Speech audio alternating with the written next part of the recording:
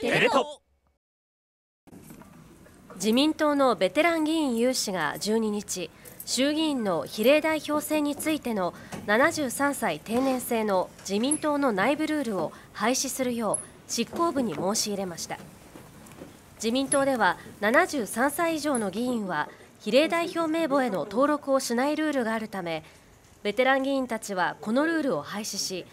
73歳以上の小選挙区の候補者が比例代表にも重複立候補できるよう要望しました。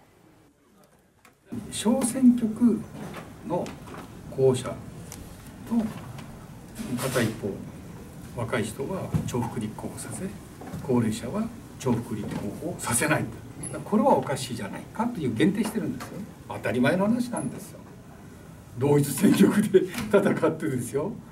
若い人を優遇して高齢者に犯人ってね。幹事長もとんでもないと。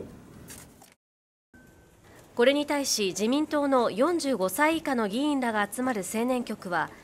新型コロナウイルス対策を優先すべきこの時期に行う議論ではないとした上で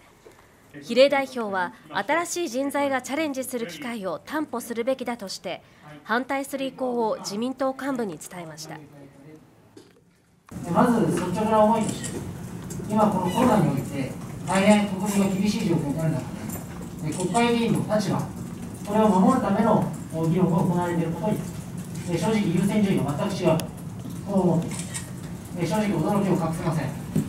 今私たちが集中すべきは国民に対して必要な支援策をしっかり届けるその政策を1分1秒でも早く作り上げる。